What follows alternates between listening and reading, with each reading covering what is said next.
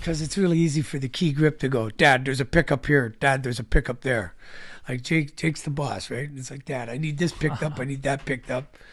And you got you got the dually and the pickup truck and the, and the car trailer. Go get everything. The boys are great.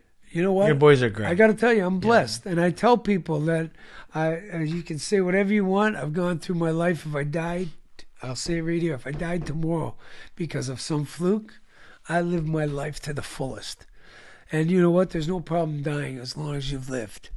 That's the truth. There's a lot of people. They not like I say. We live people's dreams. They look at us and they go, "That's what you do for a living." Yeah, and they make me breakfast on the way in. That's the funny part. Right. Jesus, wait till I swallow my water. That's- Right? But am I lying? no, you're not. They That's show up and they know what I want for breakfast. yeah, man. Like uh, David's no, I don't even have to say nothing. I walk up and they make me breakfast.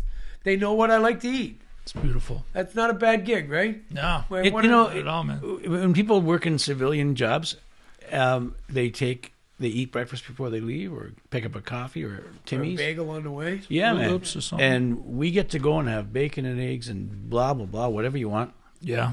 Um, first thing in the morning, and then they make me my lunch, and I have a choice of lunch.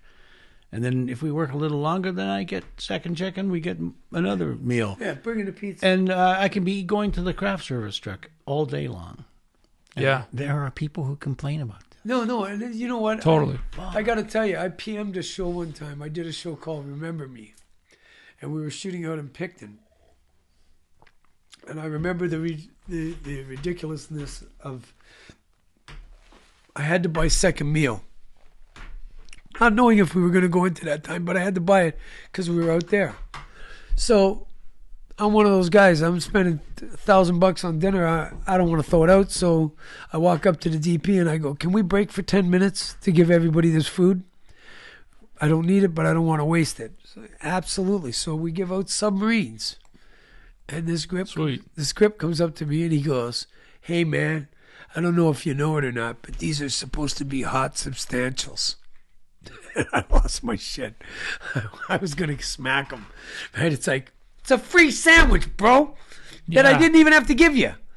Yeah. Like, I didn't have to give you that sandwich. Yeah, he doesn't know what went into getting this in the Has first place. No idea. well, th- that's my point exactly. That's exactly what the he's lack saying. of gratitude in some people. Like they Oh, yeah. expect it. Like, uh, what do you mean? This should be a hot. You're getting a free sandwich. You don't like the lunches being provided on this show, Yeah.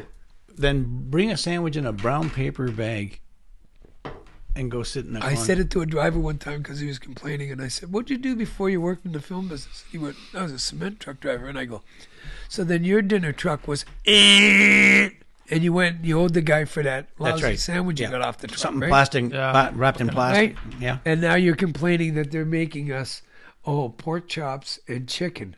I love it when they go, they got us chicken again. Yeah, because chicken's safe. Shut up. Chicken's good, man. No, but that's Bring no, every day. no, but you know what I'm saying? Nah, yeah, yeah. It's like shut up. It's a free meal. That's the